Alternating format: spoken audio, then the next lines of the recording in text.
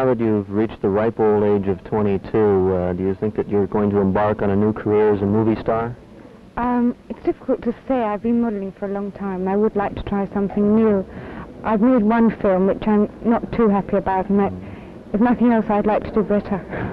You're working on quite a number of little sidelines here, such as uh, new cosmetics. Uh, how much of this is really you, and how much are you really trying to express, and how much are you being used? Uh, um, I think I wanted to bring out a cosmetic range. Mainly we're starting with hair because when you're modelling, your hair is used so much and has such a tough time. And so we've brought out this range. And it, makeup's interest to me. It's my business. It gives me a chance to travel.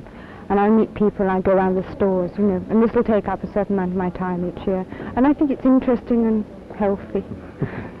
well, do you think that there's a place for a 23-year-old fashion model? Um, yeah. You're getting along in years, in other words. Not that young, I suppose, yeah. Um, let me ask you, uh, what do you think is going to happen to fashions now? Uh, the miniskirt has gone up and the tops are coming down. Do you think they're ever going to meet? I should think so. I hope not. I think fashion just changes back and forth all the time. I think, I think the skirts may drop in the winter, even to mid-calf, or at least I think there'll be long coats and mini skirts underneath. I've got a long Zhivago coat, which I had in London last year. I think simply because fashion wants to change, so fashion changes. People want to change, so it has can't go up anymore, so it will go down, I suppose. I don't care which way, really. in other words, uh, to you it's immaterial whether it's knee length or mid-thigh. I think I probably wear what's fairly fashionable because one's eye gets used to seeing it in the magazines and wearing it, and people who I'm sure who said they never wear miniskirts have come round to wearing them. I like miniskirts. I think they suit me. If the hem drops, I'll probably drop with it, but I don't pay much. but you know, it doesn't bother me one way or the other. Well, how do you feel about the new fashion axis being somewhere between Liverpool and London?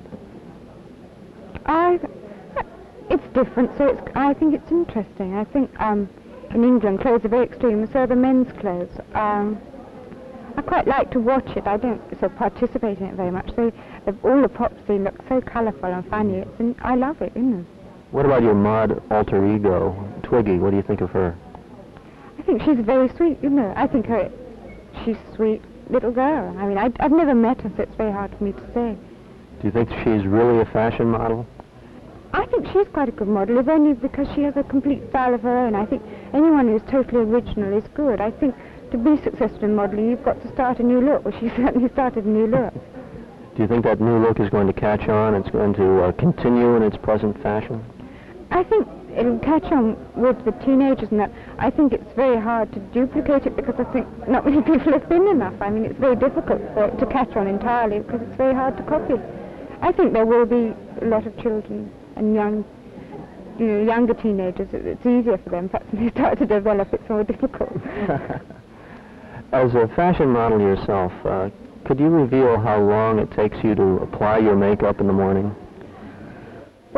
I work, I wear more makeup. When I'm actually working, it probably takes me sort of half an hour, three Perhaps I'm not working, I wear